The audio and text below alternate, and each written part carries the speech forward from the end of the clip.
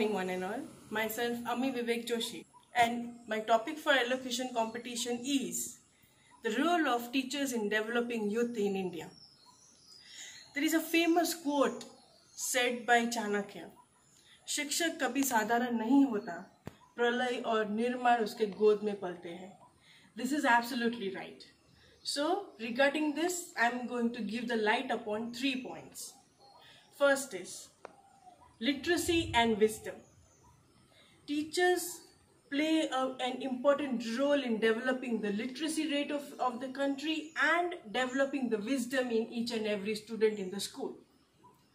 Because when the, the first day at the early childhood, when the kid enters the school, till the day it goes out from the college, the kid is being supported by the teacher every time and because of this they can take the wise decision for their own lives.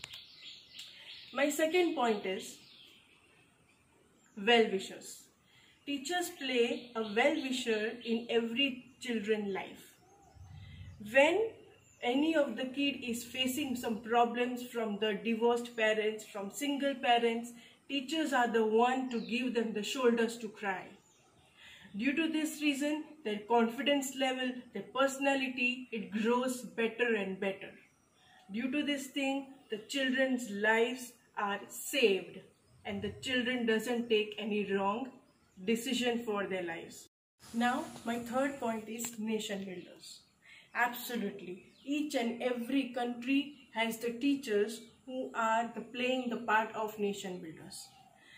It is because that all the teachers are trying to give each and every children perfect knowledge, wisdom and enough education for their posts. If the teachers are not perfect in their own subject, they cannot give them the enough knowledge to the students. It is very important for all the kids to learn communication skills, reading skills, writing skills and many more and that is impossible if the teachers are not learned enough.